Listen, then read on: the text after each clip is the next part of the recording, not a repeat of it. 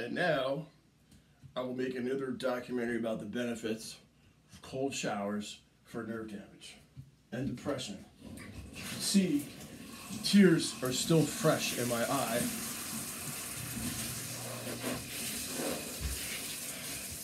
Know, the water goes cold all the way down. As you can see, still dealing with a lot of emotional stress, sadness, depression.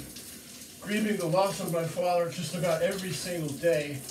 Um, there's a lot of notes he left behind. I know there's other folks out there who had a artist parent who left a lot of notes, a little instructions, and subtle innuendos, and little. Yep, we can't show that part there. Little uh, notes, uh, you know, for for people. You know, they love their loved ones to carry on their legacy. And my father, knowing full well that I'm a very visual person, and I would find things, I would end up having to clean up a big mess here. Uh, left a lot of little notes with within notes with on top of notes, and they're instructions because he felt bad and had a lot of um, we had a lot of sadness. It's not really regret, but it's a feeling of loss that we had the time taken away from us as a family, the joy, because of all the tragedy with the legal system here and with cancer. My mom and dad, they really struggled with with money, finances, and, and having both of their sons in trouble at a young age. Me first, and then my brother.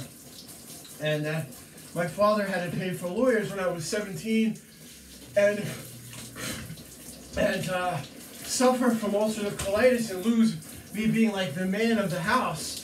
Started going to college and got a car and a job, and they took all that away, and they threatened to take away their house as well. All because of marijuana. Back then it was illegal. And so I got charged with a felony, just like my brother, for stupid shit that we didn't really do. And, and being charged and treated as criminals when we're not criminals. So that and cancer and all the years of taking my mom and dad to and from these treatments had an emotional toll, and we weren't able to do the art projects that we had wanted to. So my father started making all these prints. Stanley Reale, you know, feel bad I'm leaving you with all this debt, but if you play your cards right, these prints, you can sell them save the house, pay off the mortgage, and all the debt. Because you're going to be stuck having to get a regular job. And uh, unfortunately, with a bachelor's degree, the job prospects are very limited.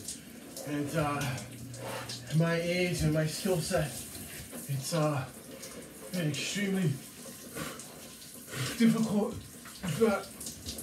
a large burden, to have to have had to resort to delving into my life savings and my stocks and uh, take on a large amount of this debt myself. Now this water is so ice cold, it's actually freezing cold to the forehead. It feels good, makes your body feel good. Ah. Ah.